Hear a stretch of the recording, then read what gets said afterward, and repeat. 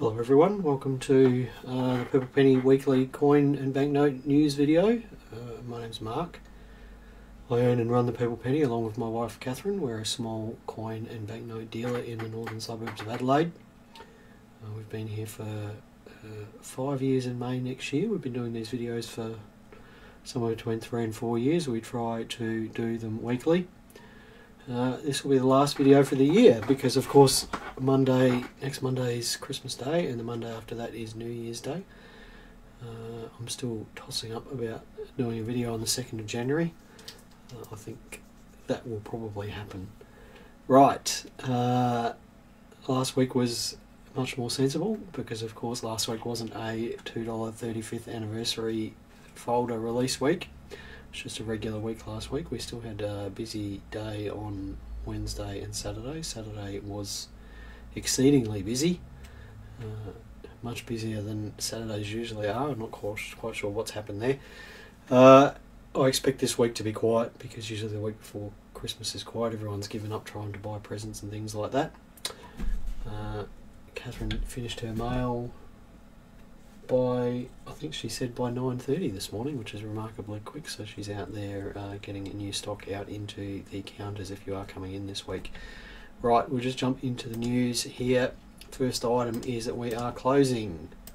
So we are closing there. Uh, this Saturday will be our last trading day for the year, uh, which is the 24th of December. And uh, we'll be reopening at 10 a.m. on the first Wednesday in January 2024, which is the 3rd of January. Uh, we are actually having another day off the following week, but I'll talk about that uh, via Facebook or whatever.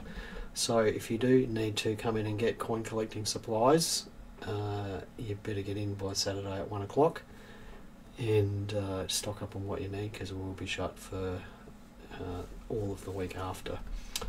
Right, that's it for the Christmas closure let's just say a few hellos before we carry on to the next section. Hello, Greg. Uh, hello, Sam Panther. Hello, Gary. I hope you're doing okay up in Cairns, Gary. hello, Ted. Hello, Peter. Hello, Ray.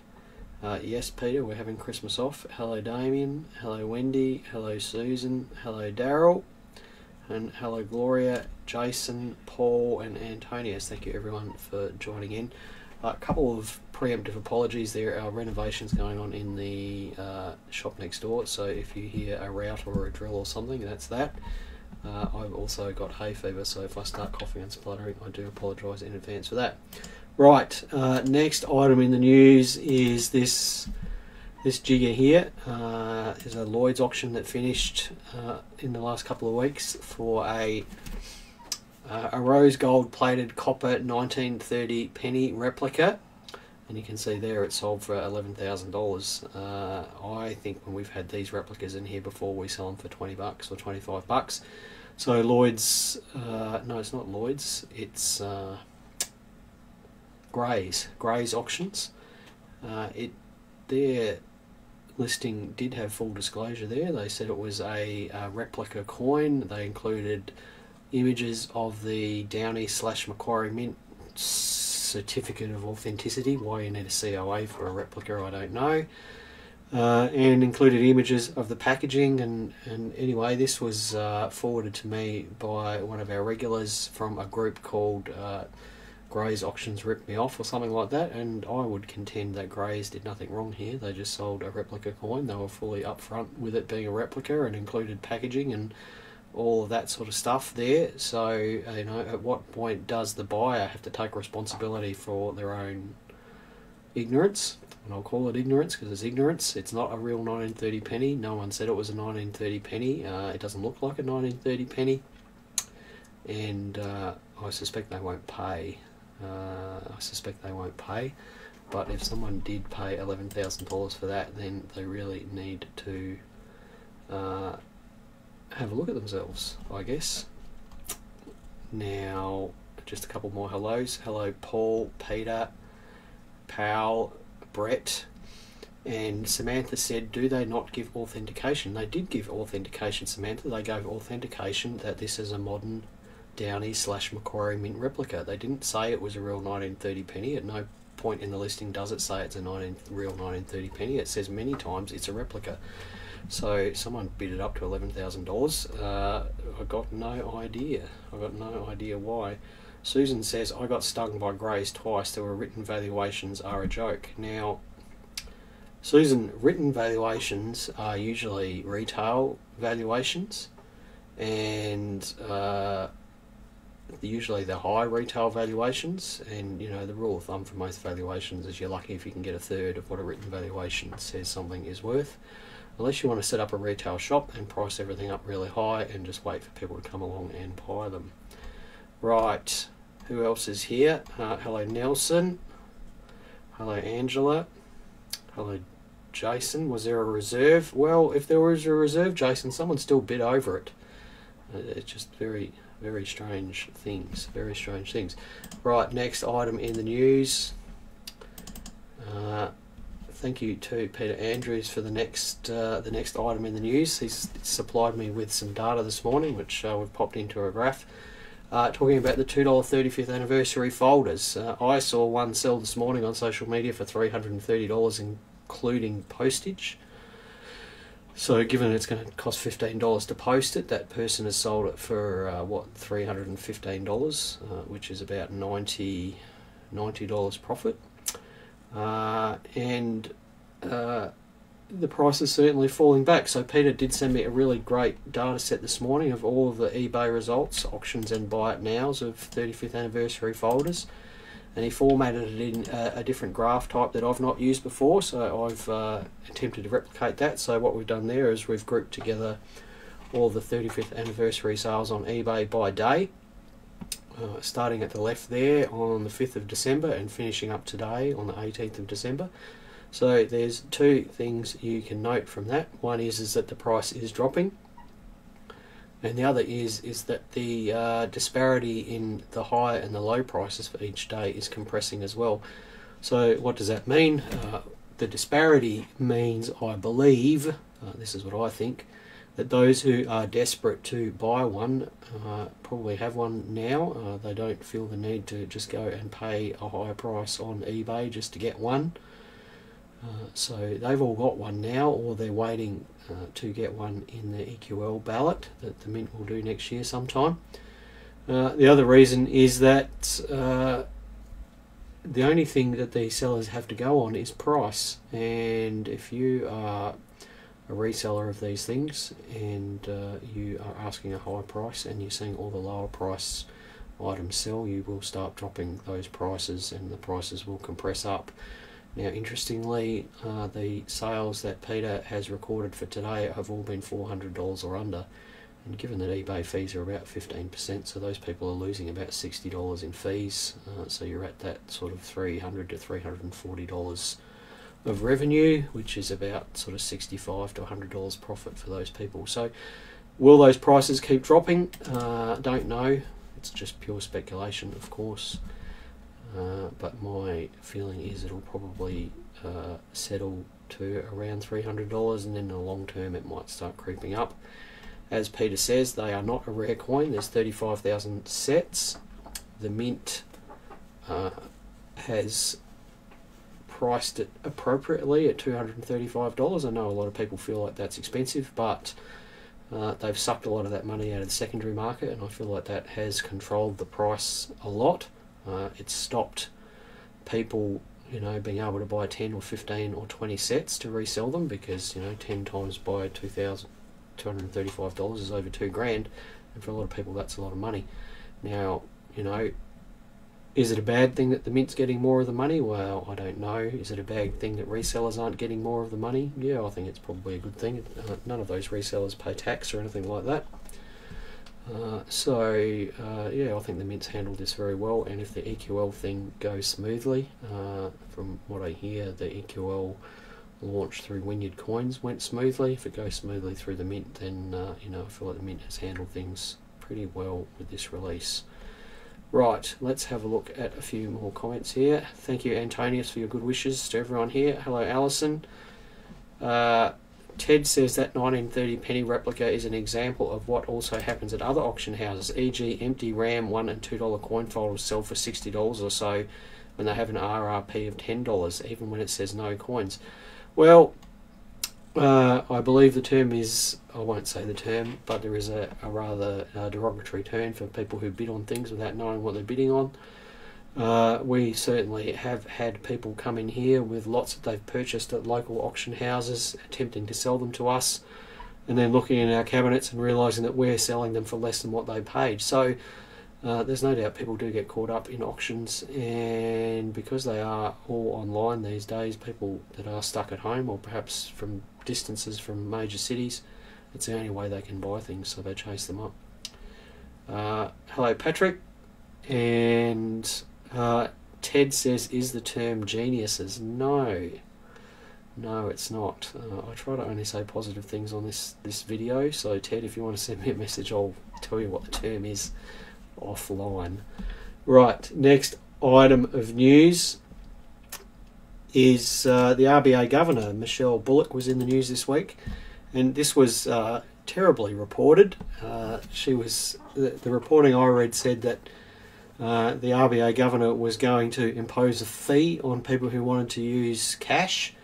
In reality, what she was saying is that because of the uh, drop in uh, cash payments, you know, we, we've gone from 60% cash payments to 15% cash payments in the last several years, that the actual cost of distributing cash uh, hasn't increased, but certainly uh, the variable costs have the variable income from it has decreased. So uh, security companies don't have to deliver as much cash. They still have to have all those trucks and employees and things like that.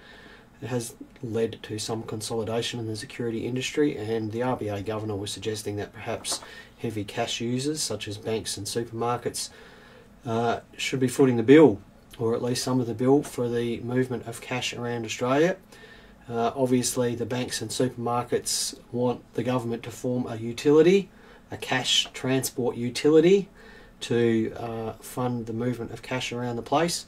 Obviously, the government wants the heavy users to foot the bill for it, but I suspect uh, there'll be something in the middle there where big cash users such as banks and so on do uh, group together and uh, subsidise security companies for moving the cash around, and then the government will probably subsidise uh, remote cash deliveries. Australia is a big place, and uh, it is very sparsely populated.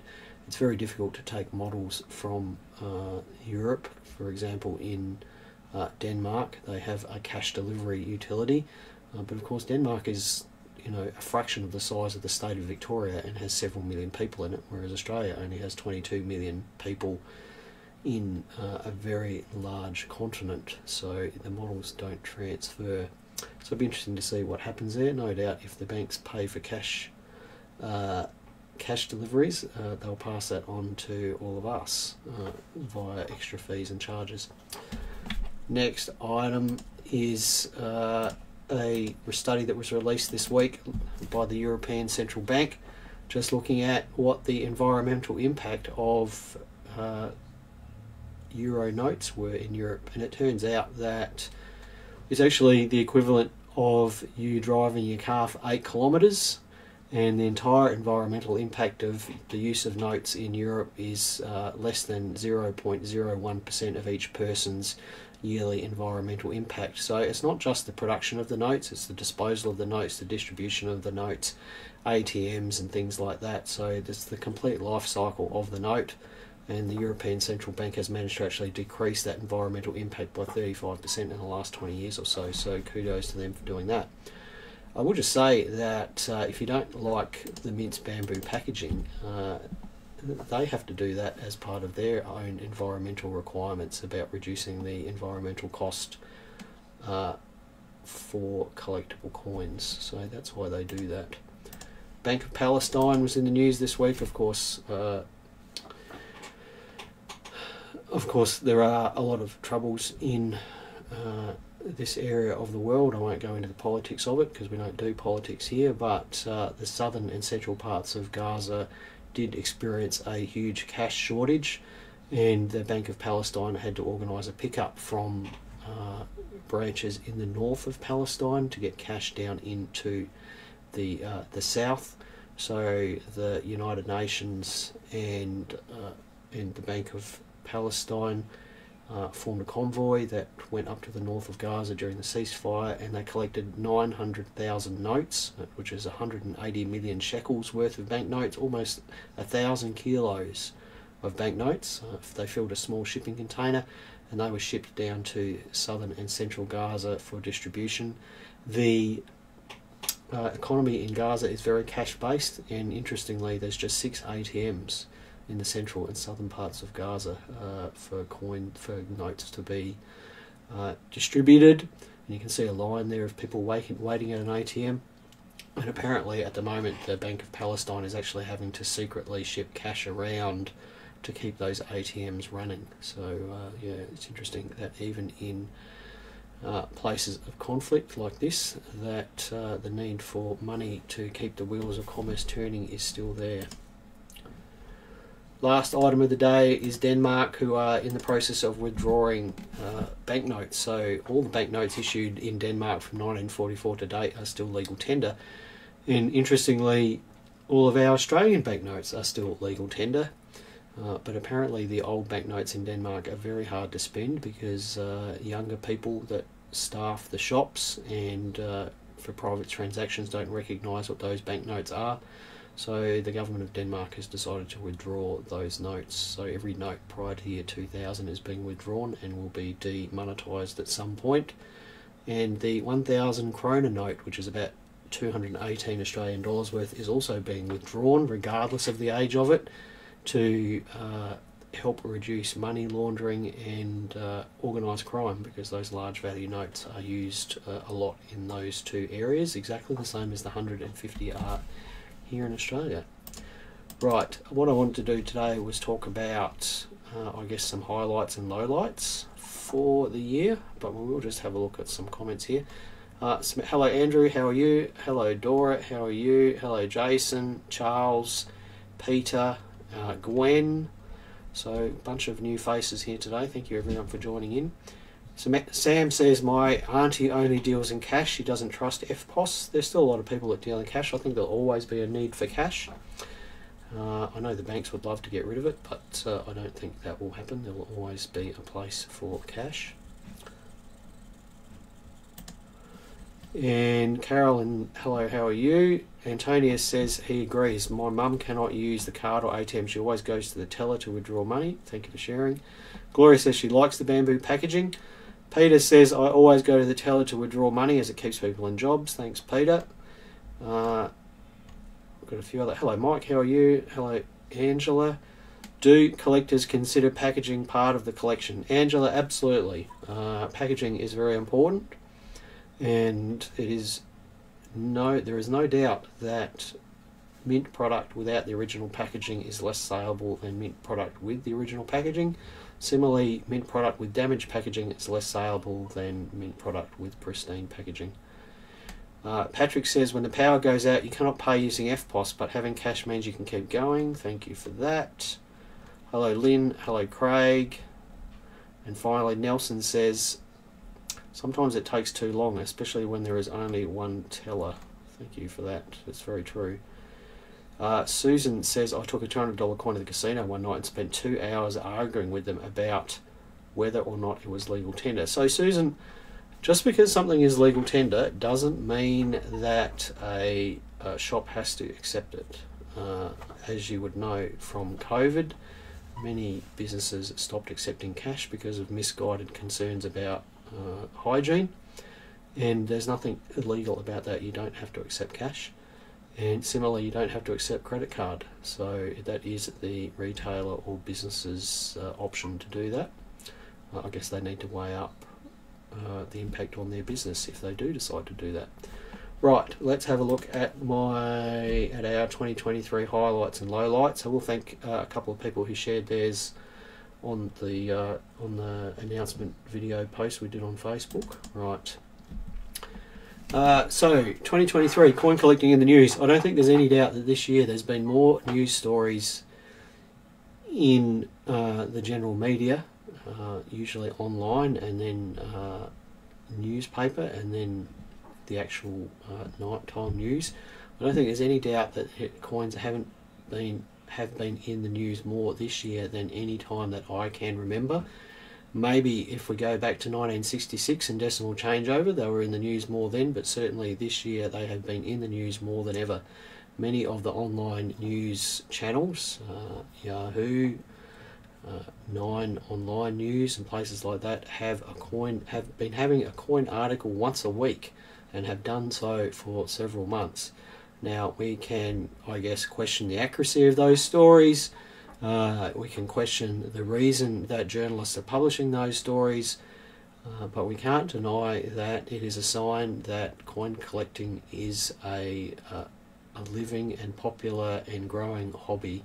And for all of us, I know it's annoying to not get new releases when you want them and to deal with resellers and things like that. Uh, we should see that as a good thing uh, rather than a bad thing. Uh, the strength of the hobby is a good thing for everyone. Now, next point here is new release demand. So I think back to uh, November last year for the Red Poppy, uh, the 2022 Red Poppy. That was uh, that really opened our eyes to the demand that there was out there in the marketplace, just with regards to the number of people that lined up out the front of our shop and how much the phone rang. Uh, it was really uh, the first time we'd seen that at all, you know, uh, in our whole time as being distributors. Uh, but this year that has happened several times, and uh, it happened with the Bathurst coin, it happened with the World Heritage coin, and of course it happened with uh, the $2 anniversary set that was released a couple of weeks ago. Next surprise for the year was a $5 coin. Now, $5 coins are without doubt the least popular decimal coins that there are. Uh, we sell a lot of five dollar coins in here for between five and ten dollars each. Uh, really, just close to face value, and depending on how many we've got, if people bring them in here, sometimes we refuse to buy them because uh, you know how many Parliament House five dollar coins do you really need? So you know, five dollar coins are the least popular denomination in my belief. Uh, and when that five dollar World Heritage coin came out we, Catherine and I thought it would be popular because it was a, quite a nice looking coin. We never expected it to be as popular as what it was. And for a unloved denomination, it was really good to just see the Mint do a good job with a nice looking coin, with a good bit of packaging, a reasonable price point, and I think they were released for thirty dollars each, and they still sell pretty strongly for between sixty and eighty-five dollars or so you know, uh, several months after release. So quite a nice looking coin, and uh, if you don't have one, well worth chasing one down. Let's have a look at some comments here before we move on. Uh, Sam says, I try to pay cash at the purple penny, but then I start looking around and spend more and need to pay via EFTPOS for a portion. Thank you for that, Samantha. It's much appreciated. Pay, pay with cash. And Adam says that journalists have very questionable uh, accuracy and Damien says the $5 heritage coins seem to get a big bump from the news too. And I think Damien, uh, as I already mentioned, uh, coin collecting has been in the news. And if the Mint partners with a uh, an organisation like they did with the World Heritage Coin and they have a, uh, a press release scheduled before release day, and uh, the consciousness of the public is already focused on coins, and that is going to make any coin sell well, and it probably doesn't matter too much what it is. Uh, so we should, as I said, as collectors, we should be pleased about that. Now, it's odd that I would have the uh, I would have the 35th anniversary $2 set as a, uh, a highlight, considering, it only happened two years ago. But I've got to tell you, here in the shop, we've been dealing with that bloody thing for several months. Uh, of course, people saw the uh, currency determination for the $2 set, and for several months, there's just been rumours. There were rumours just flying around about this set and what coins were going to be in it and how much it was going to be and what the release date was, and we just had hundreds and hundreds and hundreds of phone calls uh, from people all over Australia for months before it was released, asking to put their name down for it. And of course, you would know know by now that we don't take names for uh, products that haven't been officially announced, and for sort of hyper competitive products like that folder, we don't take names at all. Um, there's no doubt that it's the biggest release that we've ever seen uh, for a product that was $235 and $235 is a lot of money for most collectors uh, for us to have sold as many as we did as quickly as we did was just uh, beyond belief, really. I mean, we're not talking about a $15, $2 coin here, we're talking about a $235 set that people wanted to spend money on. And, you know, with the cost of living and things like that, $235 is a lot of money. Uh, so, biggest release we've ever seen. And uh, again, I feel like the Mint handled it well. They kept their uh, their light under their bushel and didn't announce it until the last second, uh, which prevented a lot of eBay pre-sales and things like that. And they only shipped it out to uh, authorised dealers like us in the last minute, which again stopped uh, those authorised dealers who don't play the game right from selling them through third parties before release day. Uh, so yeah, a great looking set. Uh, nice packaging, all the coins are quite nice, and if you manage to get one, congratulations, it'll sit there and you'll do well with it, I believe, over the years. Right, next item, uh, the new effigy. So, uh, King Charles, of course, uh, succeeded his mother last year and was coronated earlier this year, and uh, the Royal Australian Mint, more than a year after the Queen's passing, did announce uh, the new effigy. And uh, announced the design at a release a couple of months ago. I think by the sculptor Martin Tyler, I think that's his name, who's a sculptor for the Royal Mint. And uh, and of course, they started appearing last week. At the beginning of last week, they started appearing at Banks and here in Adelaide and a couple of other places around Australia. Uh, dollar coins, the Mint did say they would be releasing dollar coins first. And it is a bit of a head spin to hold a dollar coin that doesn't have a Queen's face on it. It just doesn't look right. It doesn't look like Australian money. Uh, and it is no doubt the biggest change to Australian coinage since 1966. Uh, it is a real difference for us. And I guess in a couple of years' time, oh, thank you, Charles. It's not crowned, it's crowned, not coronated. Thank you for correcting me there. Uh, in a couple of years' time, when we're seeing five cent pieces and ten cent pieces with the king's head on them, then uh, you know it really will sink in. So that was a big change there. Next item, we bought a 1930 penny this year. I never thought we'd have a real one. Uh, we've had so many fake ones come in, including uh, a fake one that was sent to us. Teachers were sent to us via email. Someone had uh, purchased a fake one and then tried to damage it to hide the fact that it was a fake one. I never thought we'd have a real one come in. We did have a real one come in uh, about six months ago. The gentleman took it away and then brought it back in a month or two later, and we bought it off of him, sent it to PCGS, had it authenticated, and uh, we're still sitting on it. It's nice to own one. If you don't know the 1930 penny, uh, it is the most iconic coin in Australian numismatics, certainly the most well known one. Uh, and uh, it's, I guess, a bit of a rite of passage as a collector and a, and, and a coin dealer to own one, and when we sell it, I guess we'll be sad when it goes, but it is nice to own a real 1930 penny. Now, this is a follow on from last year's wrap up, uh, Golden December. I don't know what it is about December, but it's brought out the gold. Uh, we've bought several dozen gold coins in the last few weeks, and you've probably seen a bunch of them appear on our website. I don't know why. People raising money for Christmas, or I'm not sure what it is, but uh, it was a real pleasure uh, a week or so ago to buy a whole group of German and American and British gold coins, all from the same lot, and uh, handle coins that we haven't seen before. I love handling coins I haven't seen before. Uh, none of them uh, have any great numismatic value, uh, and they can all be bought on our website for sort of between 10 and 25% above the gold price. And uh, you know, but it is a real thrill to see coins that I haven't seen before. It just happens very rarely, and it was great in one day to see nine or ten coins that I hadn't seen before. It was a real highlight for me. Last point, I guess, is a low light, and Catherine did bring this up, is where are the $2 rolls? You probably, if you think back, there were no $2 rolls issued this year. Uh, I think the last $2 roll was uh, the Peacekeeper last year in 2022. So we didn't get a $2 roll this year. In fact, I think the only $2 we got was the Vietnam coin was the only distinctive $2 that we got.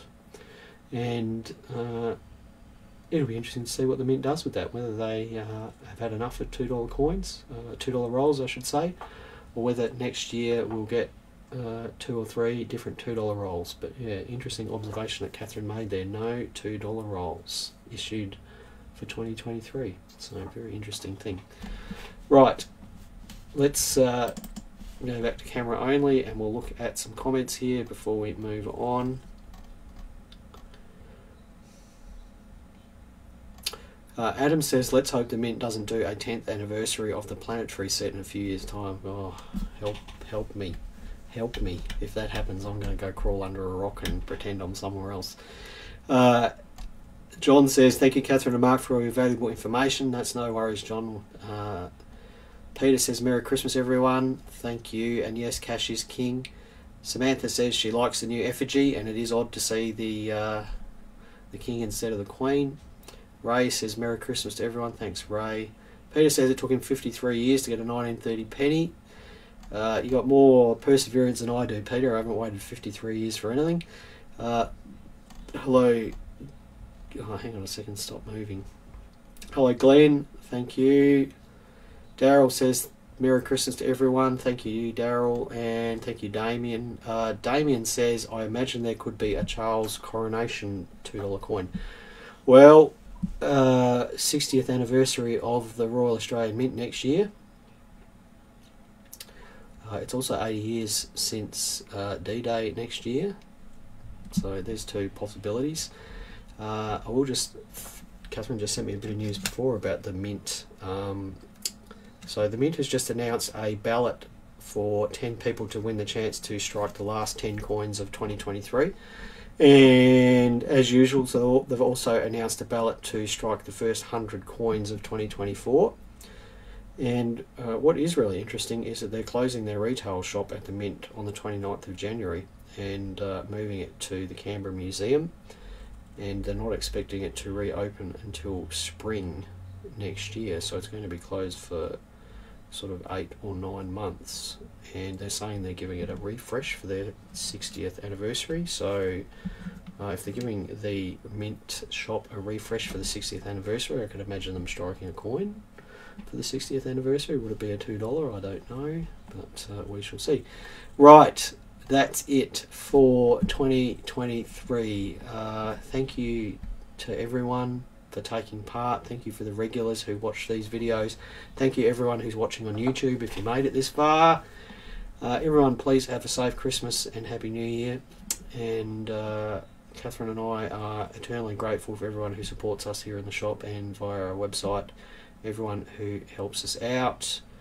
And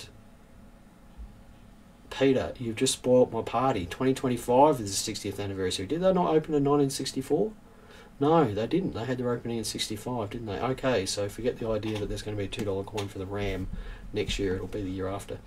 Uh, thank you, everyone, for your support. We couldn't do it without you. And uh, stay safe, travel safe, eat a lot, try not to drink too much, uh, hug your families, and we'll see you next year. Bye for now, everyone.